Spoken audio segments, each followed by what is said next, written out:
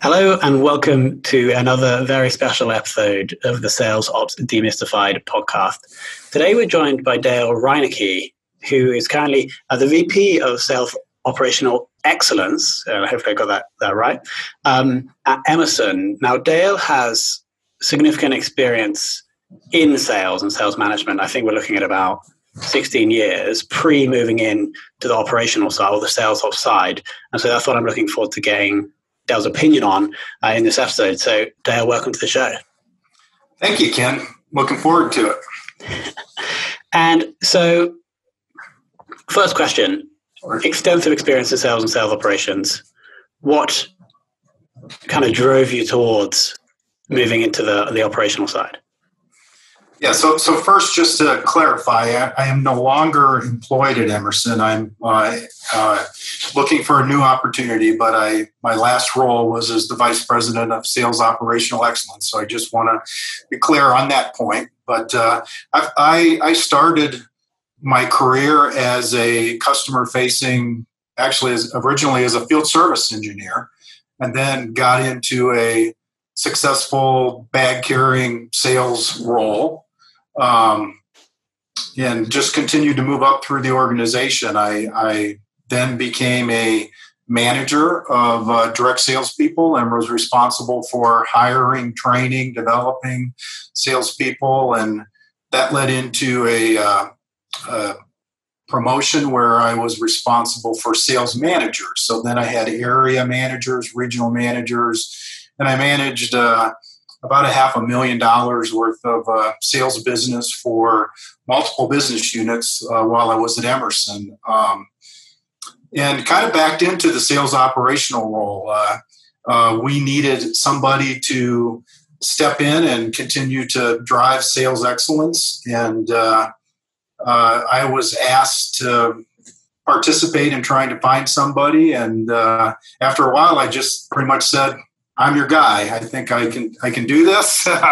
um, let me let me take a, run at it, and and uh, then I became the vice president of sales operational excellence for the North America organization that Emerson has. Uh, that was about six billion dollars of, of sales um, across multiple businesses, multiple go-to-market strategies, um, and my role, I think, was fairly broad when it comes to what sales operations is about. It wasn't just uh, you know driving CRM and and uh, developing strategies and territories that had everything to do with uh, working with HR in terms of talent acquisition. Um, I had a learning and development group that was part of my team, and we worked very closely with uh, account management and and our projects team. So very broad sales operational responsibilities in, in that uh, role that I had at Emerson. Awesome, and, and apologies for getting the current role uh, wrong. Um, I have a quick question uh, about the back history. At what point during the selling career did you lose your own quota and were there, therefore focused the majority of the time on the people you were managing? Uh, you know, as as a when I became a regional manager, I had a regional quota, that, that I divided up among salespeople. And then as I became an area vice president, it was a bigger quota that had to get divvied up. Um, once I stepped into the operational excellence role, my compensation, my bonus was no longer based on you know how North America did, at least at least not in, not specifically. Uh, so that would be the first time that I really, over my whole career, didn't have a particular number that I was trying to hit. Awesome. And now going going back to the time at, at Emerson, how many sales reps were you impacting in that role uh, of of the sales operational excellence? Wow, you know, um, my role was a North America focused role with the responsibility of working with the other world areas and driving a global standard across all the world, the world areas for processes, technology, sales methodology, uh, and and we had over you know I am not sure we ever knew the exact number, but you know several thousand salespeople. Certainly in North America, we had more than a thousand salespeople, customer facing people uh, from the various uh, go to market channels, whether it was direct salespeople, employees of Emerson, uh, working for our loyal business partners, or you know just just general distributors. And how many people were there in your your central team that were tasked with making these people more productive? It was a relatively small team. Uh, we had a, uh, a group of people focused on um, CRM and some of the digital tools that we were using to try to, you know, internally transform our, our sales organization. We had a uh, learning and development group that was just a very small group. Um, we work very closely with with the HR organization in terms of developing sales personas and looking at compensation plans, things like that. But they were really not part of my direct team. So a relatively small group of people, five or six people total. Got it. Can you share those digital tools that you, that you mentioned that you were using to help boost productivity? Yeah, so you know, Emerson is very much a Oracle house. Um, they use Oracle for their ERP system, and uh, uh, you know, we were in the process of moving from Oracle CRM on demand to Sales Cloud by Oracle um, for our CRM platform. We worked very closely with the marketing side to uh, make sure, from a leads and opportunities standpoint, Eloqua was very tightly integrated with uh, with Sales Cloud. Um, our sales methodology was developed working with uh, Sales Performance International (SPI), um, using their solution selling methodology, and we developed some internal sales tools that integrated with uh, Sales Cloud as well to you know help make sure that salespeople could move projects and pieces of business through the various sales stages.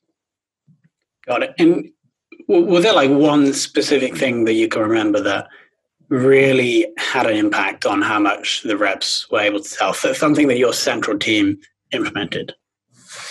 I, I, we have a long history with uh, Emerson had a long history with uh, solution selling and SPI, but when I came on, we we really wanted to reinvigorate the sales force, and we went through a process of uh, um, through some remote training, some online training, and face to face workshops, trained uh, well over two or 3,000 salespeople. And I think it's really important. Uh, you know, one of the things that's that that I've learned is you have to have a sales methodology. You have to have a process. It, creates a common language. It creates uh, the way you communicate. It uh, helps to bring people up to speed faster when you're going through an onboarding process. So I would say driving a consistent global sales methodology uh, was one of the things that that will have a you know huge productivity impact on the entire selling organization. And just for the benefit of the audience, can you briefly summarize the whole solution selling methodology that you guys trained in? Yeah, we you know um, SPI, they're a great partner of Emerson's. Uh, they their solution selling process looks at the customer's buying behaviors, which obviously in the last you know two years has dramatically changed and is continuing to transition. Um, you know, typically customers now do a lot of research online. They understand what they want to buy even before they reach out to salespeople. So it's critical that salespeople understand how to have an impact right away. But solution selling tries to line up uh, your buying processes with the customer's buying behaviors, and and so you you know the the, the challenge as, as a seller is to identify where where your customer is at in the, the buying process, align with them, and understand their pain. Um, make sure you're at the right level of you know the, the formula that SPI uses is pain, power, value, vision, control, um, and collaboration. So you're working through various stages with your clients to um, understand what their issues are, make sure you, you're at the power that can make decisions, and uh, then help make sure your products, your solutions fit their vision, or if, if need be, uh, try to re-engineer their vision if uh, you think you have a, a better better fit. Over the past few weeks, we've spoken to a hundred sales leaders around the world to understand the impact of COVID 19 on revenue.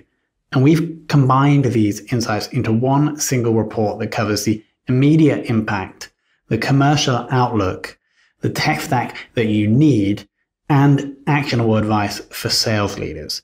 You can claim this whole report completely for free if you go to ebsta.com forward slash COVID. That's ebsta.com forward slash COVID. Cool. Um, I assume during your time there, you probably did some work on the forecasting process. Could you share like roughly what that process was and any changes you made, if any, that improved accuracy?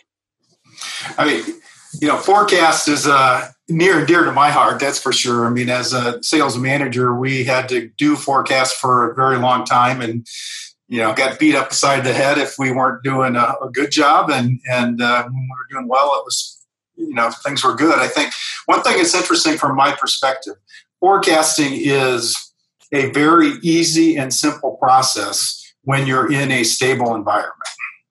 You know, when you can understand what your MRO typically is and you can look at data to help you figure it out, uh, you know, forecasting can be, you know, a pretty simple process. The problem is when things start to move around, which I, which we're in a, you know, very uh, interesting place right now.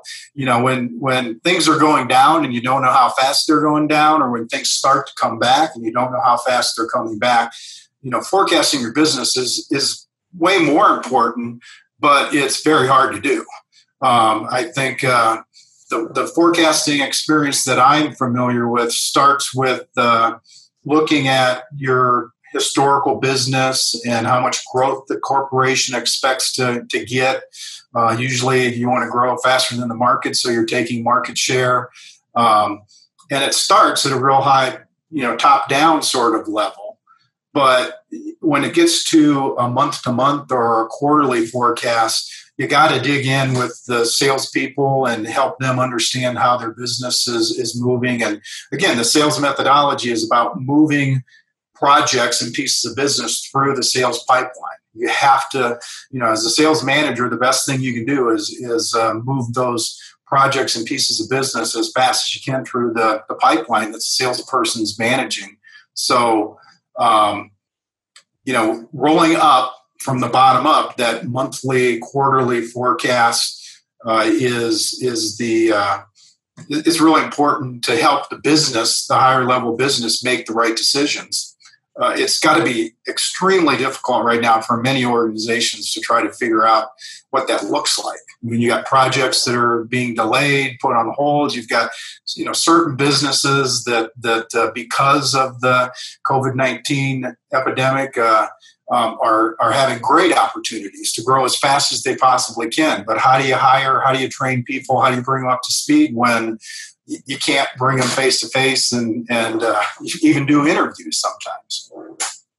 Yeah, for sure. Do, do you think do you think that's the biggest impact the virus is having on sales right now? The the inability to meet face to face with clients, but also to meet face to face with your team to onboard and train, or do you think there's some other hidden effect that is is hindering the ability to sell? I, I, do think that we were in the process of uh, because our clients' buying behaviors were changing. That the sales, uh, the transformation of sales was taking place prior to all this. I think this uh, is accelerating that. Um, salespeople, outside salespeople, customer-facing salespeople, I, I'm sure are gaining a, a big appreciation for what their inside counterparts have been doing because the outside selling job today is is a lot more like an inside selling job where you've got to uh, be able to communicate effectively through a zoom meeting. Uh, you've got to be able to bring in experts and you know subject matter experts as part of a, a virtual meeting. So uh, I, I, think it's a big challenge to onboard people. You know typically in, in my experience onboarding means you take them to the factory and you sit them down and give them some product training. Well those things are a lot harder to do today. So how do you how do you do it more remotely? How do you do it online? How do you do self-paced? And uh, you know how how do you train salespeople to effectively conduct a sales call remotely is i think uh, a, a new skill that uh, is is a is a very important one. Sure. Moving on to sales metrics, if you could only measure one more sales metric for the rest of your career, which would you choose? Wow, that's a great question. I probably won't be able to give you one, because um, because you know I think uh, as, as, a selling organization, you ultimately have to uh, you know prove your ROI, your return on investment, to your upper management, to the shareholders and the investors of the corporation. Um, but my experience tells me to effectively uh, measure sales performance, you have to look at, at how you can measure the behaviors that you're trying to drive. You're trying to drive more customer engagement, higher level customer engagement. You want to make sure that your sales managers are uh, uh, doing effective coaching sessions. So I, am a believer that you have to look at those individual measurements of, you know, how do you, how do you, how many times are your coaches, your sales managers coaching their salespeople? How many times are they doing opportunity reviews with uh, with their salespeople? You can look at CRM in terms of number of opportunities, dollars of opportunities, and things like that. But really, again, you got to try to look at how do you move stuff through the, the sales pipeline and you got to go back and look at those individual behaviors that you're trying to drive. And, you know, ultimately they hopefully prove to the organization that uh, you're increasing sales productivity, you're bringing the cost of sales down, those bigger, higher, more important measures that our executives want to look at. But it's got to start with those baseline behaviors. And then, final question uh, Who in the world of sales operations has influenced you the most? Uh, you know, my career started from the ground up, customer facing jobs. So I, I, think over the years, I've had the pleasure to work with a lot of progressive salespeople that, that use digital tools, you know, 15, 20 years ago to try to understand their business, get their arms around who their customers were, do some, some customer segmentation. Um, one of my sales peers, Jeff Greenland, is a, a guy that I would mention. And then I, I've also had lots of great managers over the years that coached me. Um, Steve Kins, Randy Schrader, John Gardner is another guy. And, and I got to give a lot of kudos to SPI, Sales Performance International.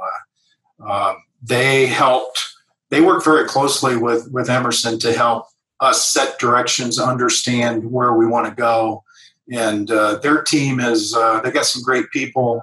Keith Eades was the founder of uh, Solution Selling. He's I think since retired from SPI, but uh, um, he, he's a pretty sharp guy. Amazing, many many influences. I, I definitely am going to look, look into SPI more um, and solution selling. Maybe we can even get someone from there on the show. Um, awesome. Dale, so here are the three things that I picked out. We look for like one quote from the episode, and I think the quote here is going to be the the importance of having a consistent sales methodology. I think if a sales organi- organization doesn't have that, there's probably a lot of benefits, a lot of efficiencies in onboarding, for example, that you can gain from that.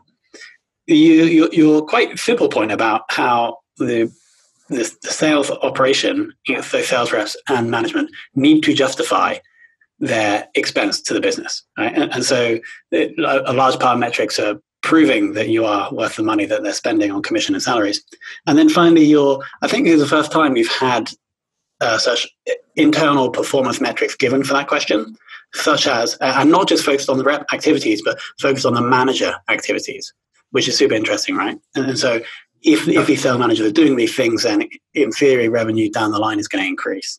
Um, I, I, you know, I think when you talk about onboarding and, and things like that. Uh, my opinion, the role of the frontline sales managers is so important to developing salespeople, to helping them move stuff through their pipeline. Uh, uh, frontline sales managers are a, a, critical part of the organization, and uh, you can't you can't put enough time and focus in developing that layer of your sales management. Sure. Dale, um, thank you so much for coming on. Thank you. yeah, please uh, let me know if I can be of any other help. Yeah, so so, so we, will definitely link below to to your LinkedIn profile if someone is looking for someone okay. of your of your capabilities. Um, Dale, thank you so much. Thank you very much. I appreciate it.